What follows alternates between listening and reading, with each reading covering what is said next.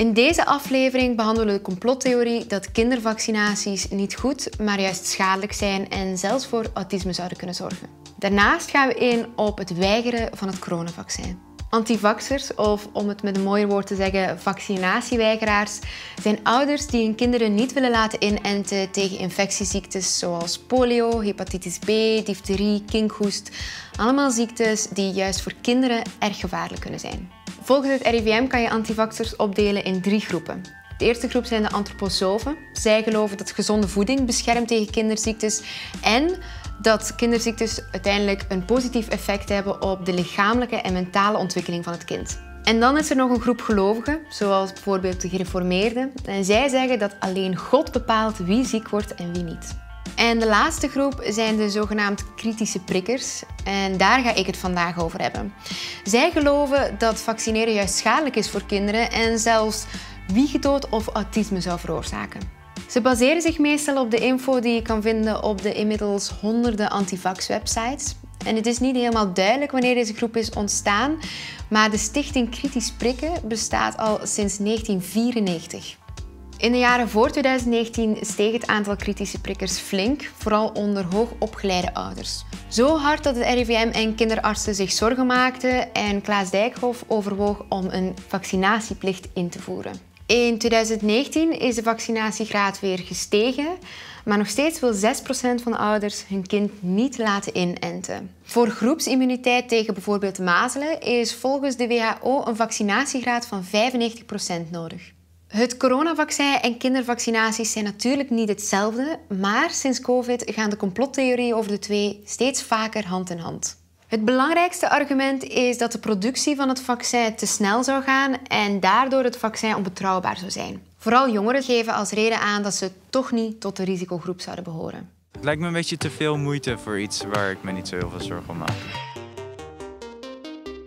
Maar waar baseren antivaxers, of moet ik zeggen kritische prikkers, hun overtuiging op? Ten eerste halen ze vaak een artikel aan uit 1998 van de Engelse arts Andrew Wakefield. Hierin legt hij een verband tussen mazelenvaccin en autisme. Later is het stuk teruggeroepen wegens fraude en ons Andrew mocht zichzelf niet langer meer een arts noemen. Antivaxers beweren dat de Britse regering hem monddood wilde maken omdat hij schadelijke informatie naar buiten had gebracht.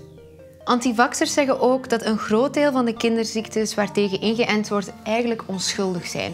Een ander argument is dat bijwerkingen op lange termijn niet duidelijk zouden zijn. Er zou enkel onderzoek gedaan worden naar bijwerkingen op korte termijn. Onderzoek naar lange termijnseffecten wordt volgens hen te weinig gedaan omdat farmaceutische industrieën daar niet in geïnteresseerd zouden zijn. Ze zouden namelijk niet zo blij zijn met de resultaten die daaruit zouden komen. Daarnaast beweren antivaxers dat veel van de positieve effecten van vaccins niet komen door vaccins zelf, maar door betere voeding, betere hygiëne en verhoogde welvaart. En tot slot dan de reden om het coronavaccin te weigeren. Jongeren horen inderdaad niet tot de risicogroep, dat horen we al maanden. En de productie gaat inderdaad wel erg snel. Hiervoor was het snelst geproduceerde vaccin ooit dat tegen de BOF in 1967 en dat duurde vier jaar. Hoezo gaat het nu zo snel? Ik wil graag weten of er ook maar iets klopt van de beweringen van antivaxers. Dus ik ga bellen met dokter Patricia Bruining. Eerst maar eens over het onderzoek dat een verband legt tussen het mazelenvaccin en autisme. Uh, wat weet je hiervan? Wat ik daarvan weet en wat inmiddels gelukkig ook de hele wereld weet, is dat uh, dat onderzoek fraudeleus was.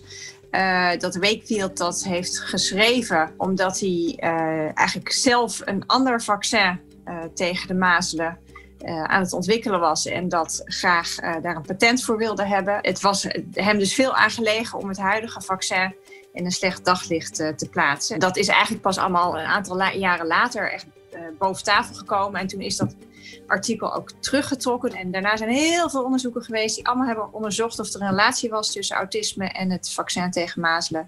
En die blijkt er gewoon niet te zijn. Uh, maar het verhaal blijft nog steeds rondzingen.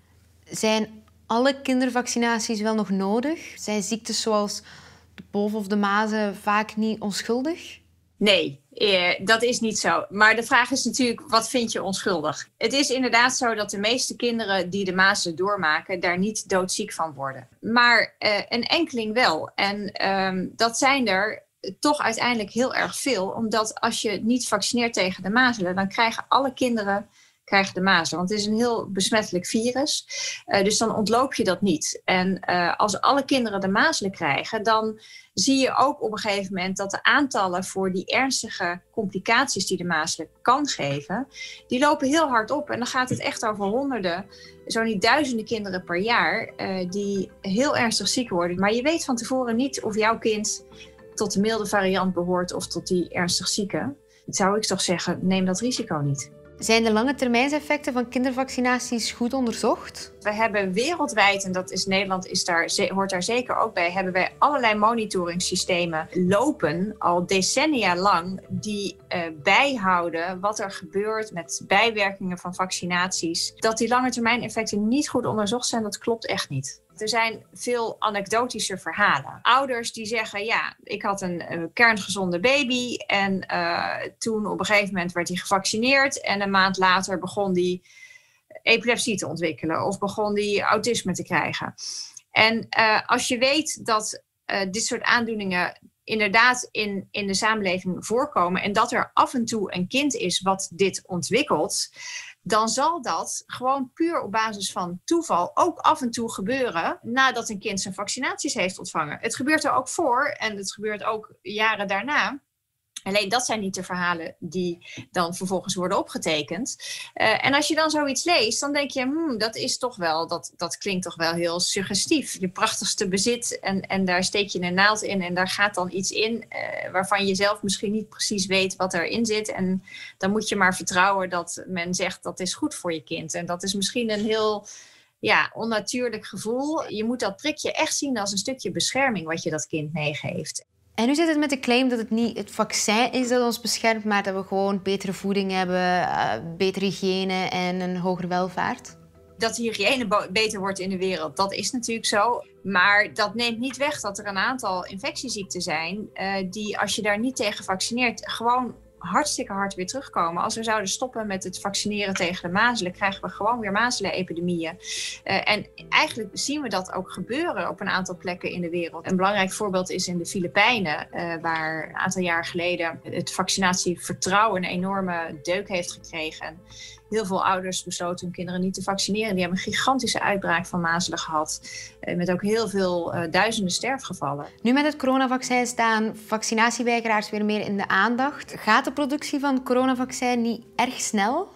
dat is echt een combinatie van een aantal factoren. Daar zit heel veel wetenschap aan vooraf in de afgelopen jaren. Uh, de manier waarop we deze vaccins, hè, die messenger RNA-vaccins, mRNA-vaccins, dat is een nieuwe technologie. Daar is de afgelopen 15 jaar ontzettend veel in ontwikkeld en daar plukken we nu de vruchten van. Uh, er was een veel onderzoek gedaan voor vaccins naar het uh, twee andere coronavirussen, waar heel veel kennis al bij opgedaan was die we konden gebruiken. Er was heel veel geld beschikbaar, waardoor farmaceuten veel sneller konden doorpakken met de ontwikkeling en, en het doen van allerlei testen en onderzoek. Het vinden van vrijwilligers om mee te doen aan deze vaccinatieonderzoeken, ja, daar stonden ze letterlijk voor in de rij. 80.000 mensen hebben meegedaan aan die, aan die vaccinatieonderzoeken. Nou, dat is echt ontzettend veel. Het is een hele hoop factoren samen. Um, die hebben gezorgd dat dit uh, mogelijk is geworden in zo'n korte tijd. En een van de dingen die echt heel belangrijk is voor mensen om te weten, is dat er in het uh, onderzoeken van de veiligheid van het vaccin, dat er echt geen bochten zijn afgesneden. Vergeet niet dat het afgelopen jaar ontzettend veel wetenschappers over de hele wereld heel veel onderzoek hebben gedaan naar dit virus. Wat wij in het afgelopen jaar geleerd hebben over dit virus is iets waar we voor andere nieuwe virussen soms meerdere decennia voor nodig hebben. Omdat er zo ontzettend veel onderzoek tegelijk op zoveel plekken door zoveel verschillende wetenschapsgroepen in de wereld wordt gedaan. En daardoor is alles in een stroomversnelling uh, gekomen. Oké, okay, duidelijk. Dankjewel. Doei doei. Het is niet gek en misschien zelfs goed om kritisch te zijn over vaccinaties, waaronder het coronavaccin. Want ja, je steekt gewoon iets in je lichaam en je moet er maar op vertrouwen dat het goed is. Maar ik denk dat het ook belangrijk is om te vertrouwen op de wetenschap. Want diezelfde wetenschap heeft ervoor gezorgd dat we inmiddels vrij zijn van veel ziektes. Gedegen wetenschappelijk onderzoek in twijfel trekken aan de hand van discutabele bronnen helpt in ieder geval niets.